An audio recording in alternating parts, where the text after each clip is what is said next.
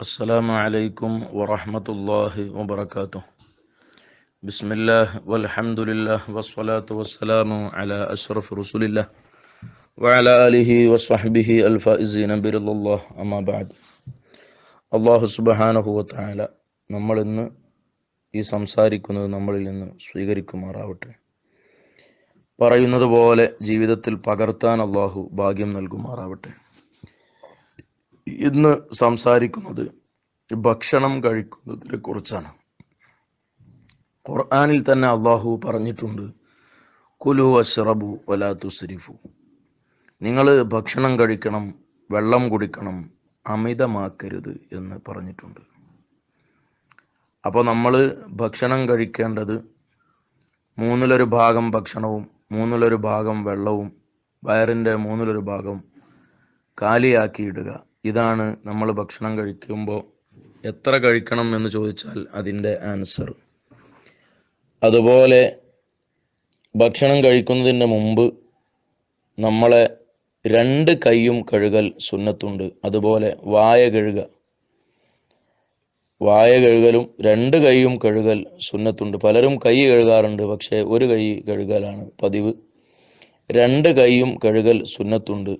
പിന്നെ ഭക്ഷണം ശരിക്ക് അതിന്റെ മര്യാദ എങ്ങനെയാന്ന് വെച്ചാൽ നിലത്ത് വെച്ചിട്ട് ആ സുപ്രയിൽ നമ്മൾ ഇരിക്കുക ഭക്ഷണം പുറത്തു പോകാതിരിക്കാനും അതിന്റെ സുന്നത്തായ രീതിയാണ് ഞാൻ പറയുന്നത്.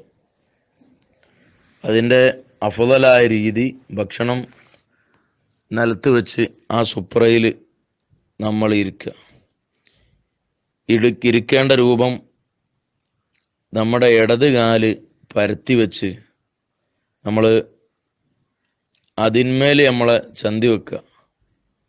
ഇപ്പം നമ്മൾ ഒന്നാമത്തെ തയ്യാത്തിൽ അങ്ങനെയാണല്ലോ നമ്മൾ പിന്നെ ഇടത്തെ കാൽ പരത്തി വെച്ചിട്ട് അയിമൽ ഇരിക്കലാണ് പതിവ്. എന്നിട്ട് എന്ത് ചെയ്യണം? അങ്ങനെ അത്തയാത്തിൽ ഇരിക്കുന്നത് പോലല്ല ഇരിക്കേണ്ടത്. കാൽ നമ്മളെ കാൽ വലത്തെ കാൽ കുത്തനെ വെക്കുക. അത് നമ്മൾ ഏതെങ്കിലും ആണ്ടിന്റെ മറ്റൊക്കെ സദസ്സിൽ പോകുമ്പോൾ ഉസ്താദ്മാരൊക്കെ ഇരിക്കണം നിങ്ങൾ ശ്രദ്ധിച്ചിട്ടുണ്ടാവും. ഇടത് കാൽ പരത്തി വെച്ച് അതിനു മുകളിൽ ഇരുന്ന് നമ്മളെ വലത് കാൽ നമ്മളിങ്ങനെ കുത്തനെ വെക്കുക. അങ്ങനെയാണ് അല്ലെങ്കിൽ നമ്മളെ കാലിന്റെ ഇരുഭാഗവും നമ്മൾ പരത്തി വെച്ചിട്ട് മുട്ടുകുത്തി ഇരുന്നിട്ട് അങ്ങനെയൊക്കെ ഭക്ഷണം ആ രണ്ട് രൂപമാണ് അതിന് അഫുതലായ രൂപം.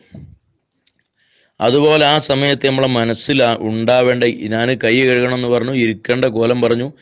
ആ മനസ്സിൽ നമുക്ക് ഉണ്ടാകേണ്ട ഒരു ചിന്ത അള്ളാഹുവിന് വിഭാഗത്തെടുക്കാൻ വേണ്ടി ഞാൻ ഭക്ഷണം കഴിക്കുന്നു.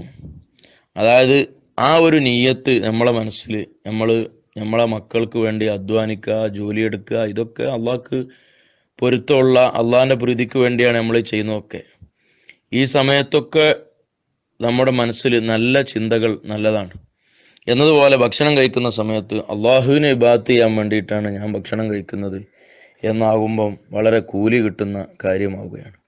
പിന്നെ എത്ര ഭക്ഷണം കഴിക്കണം എന്ന് ചോദിച്ചാൽ എപ്പോൾ ഭക്ഷണം കഴിക്കണം എന്ന് ചോദിച്ചാൽ അതിന് മലയാളികളെ സ്വഭാവം നമുക്ക് ടൈം ടേബിളാണ് രാവിലെ നീച്ചാൽ ഒരു ബീഡി പിന്നെ ഒരു കട്ടൻ ചായ പിന്നെ അത് കഴിഞ്ഞിട്ട് കുറച്ച് ഞാൻ ബ്രേക്ക്ഫാസ്റ്റ് പിന്നെ പത്ത് മണിക്ക് കഞ്ഞി ഉച്ചയ്ക്ക് ചോറ് പിന്നെ വൈകുന്നേരം ചായ പിന്നെ മഗ്‌രിബിന്റെ മുമ്പ് ഒരു ചെറിയൊരു ചായ പിന്നെ അതിന് ശേഷം ഒമ്പത് മണിയാകുമ്പോൾ ഭക്ഷണം.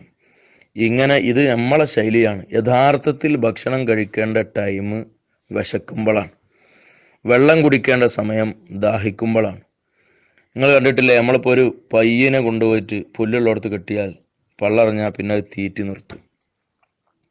അതിനാവശ്യത്തിനായി കഴിഞ്ഞാൽ തീറ്റി നിർത്തും. വെള്ളം കൊടുത്തു കരുതി കുടിച്ചോളണം എന്നില്ല നമ്മൾ അതിന് മുമ്പിൽ വെള്ളം കൊണ്ടുവച്ചാൽ ആവശ്യമുണ്ടെങ്കിൽ വെള്ളം കുടിക്കും ദാഹം ഉണ്ടെങ്കിൽ കുടിക്കും. പക്ഷെ നമ്മൾ കൊണ്ടുകൊടുക്കുമ്പോൾ പശു പശു അങ്ങ് കുടിച്ചിട്ടില്ലെങ്കിൽ നമ്മൾ ബുദ്ധിമുട്ടിച്ച് കുടിപ്പിക്കുന്നു മാത്രം. അത് നമ്മളെ പോരായ്മയാണ്. യഥാർത്ഥത്തിൽ വിശക്കുമ്പോൾ ഭക്ഷണം കഴിക്കുക. അതുപോലെ ദാഹിക്കുമ്പോൾ കുടിക്കുക. അതുപോലെ തന്നെ ശ്രദ്ധിക്കേണ്ട മറ്റൊന്നാണ് ഉള്ളത് കൊണ്ട് തൃപ്തിപ്പെടുക എന്നത്. കൂടുതൽ ആഗ്രഹിക്കാതിരിക്കുക. അതിനു പുറമെ നമ്മുടെ ഭക്ഷണത്തെ ബഹുമാനിക്കുക. ഒറ്റയ്ക്ക് ഭക്ഷണം കഴിക്കാതിരിക്കുക. അസ്സലാമു അലൈക്കും വറഹ്മത്തുള്ളാഹി